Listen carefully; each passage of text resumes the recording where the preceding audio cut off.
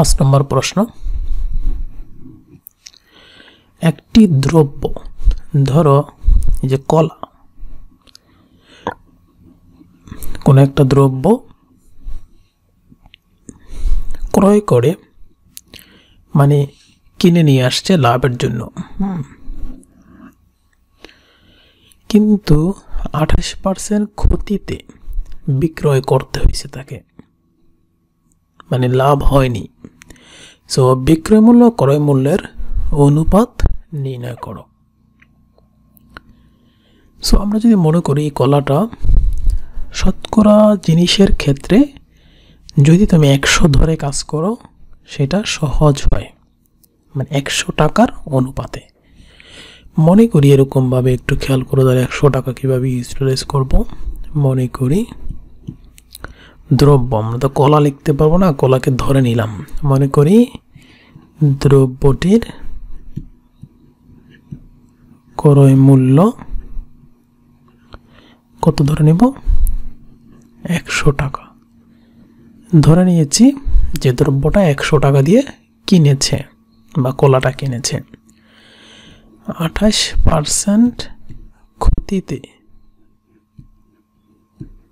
বিক্রয় মূল্য কত?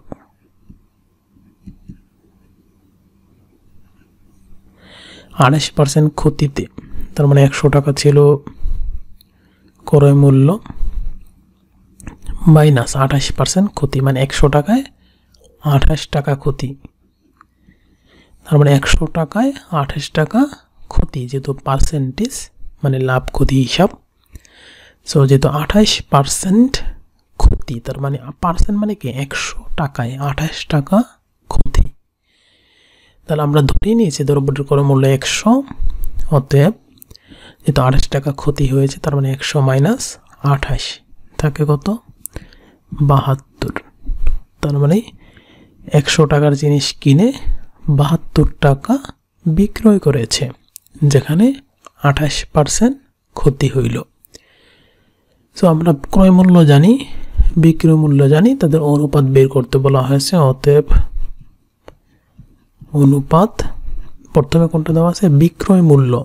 প্রথমে বিক্রয় মূল্য। তার মানে বিক্রয় মূল্য বাহাত্তর। অনুপাত, ক্রয় মূল্য একশো। সো বাহাত্তর তাহলে উপরে যাবে, ক্রয় মূল্য একশো নিচে যাবে। এবার আমরা তাকে ছোট করে ফেলব। পঞ্চাশ দুগুণে একশো, ছত্রিশ দুগুণে বাহাত্তর। দুইটা যদি একশোকে ভাগ করি, তাহলে পঞ্চাশ। দুইটা যদি বাহাত্তরকে ভাগ করি, তাহলে ছত্রিশ। এগেন দুইটা যদি পঞ্চাশকে দিই, তাহলে পঁচিশ। দুইটা যদি ছত্রিশকে দিই, তাহলে আঠারো। পঁচিশকে আর দুই দেওয়া যায় না, কিন্তু আঠারোকে যায়। পঁচিশকে তিন দেওয়া যায় না, আঠারোকে যাবে। পঁচিশকে পাঁচ দেওয়া যায়, আঠারোকে পাঁচ দেওয়া যায় না। অতএব উপরে আঠারো, নিচে পঁচিশ। তাদের অনুপাত নির্ণয় করো অথবা অনুপাত কত হবে? আঠারো, অনুপাত পঁচিশ। এটা উত্তর।